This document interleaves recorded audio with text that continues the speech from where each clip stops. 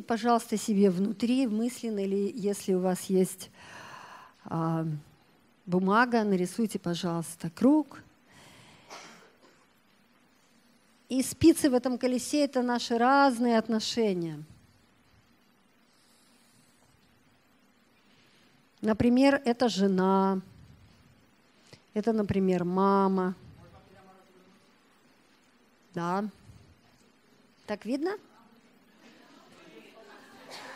Я, вы знаете, не такой, ну, не бог весь какой рисунок, я вам буду диктовать, вы догадаетесь. Хорошо? Не расстраивайтесь.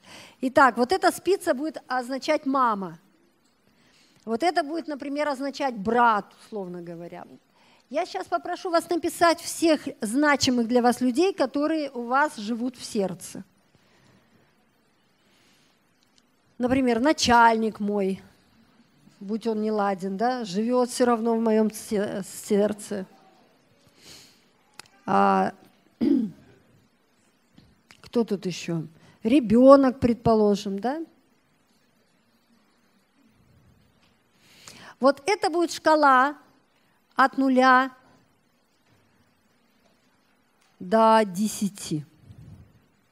Ну или до ста, как, неважно. Какую-то нарисуйте вот таким образом и поставьте по степени удовлетворенности ваши отношениями этими, поставьте там, например, а, с начальником удовлетворен на 100%.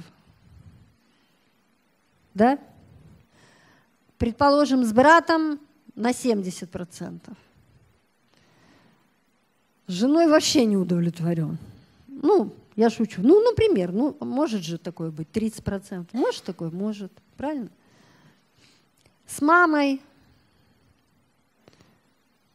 90%. С папой вообще нет отношений. Не поняла вообще, что за папа у меня. Да? И вот так вот поставьте себе, пожалуйста,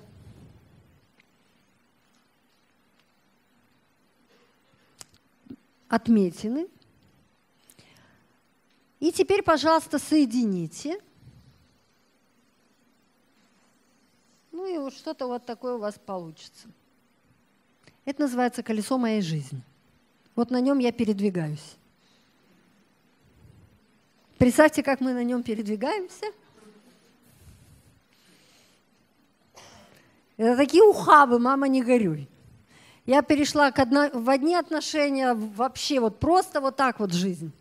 И что нам теперь делать? Все их сдуть до нуля?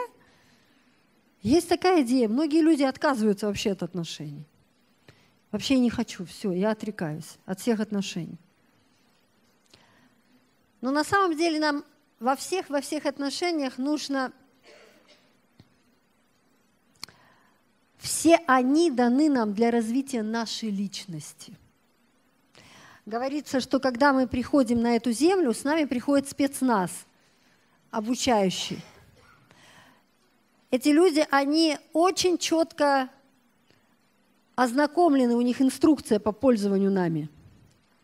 Они знают, как просто вот в десятку попасть, как задеть наше эго знают, как за живое задеть, как все-все знают, как вскрывать все наши, то, что мы хотим спрятать. Они обучены. Это спецотряд учителей. И вы наверняка знаете этих учителей в лицо.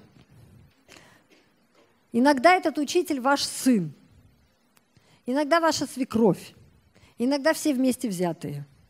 Тогда тогда школа тяжелых ударов называется. Есть разные стили в карате, так и разные стили есть в обучении вза взаимоотношений. Чем тяжелее наука взаимоотношений, это означает, что я много применяю насилия.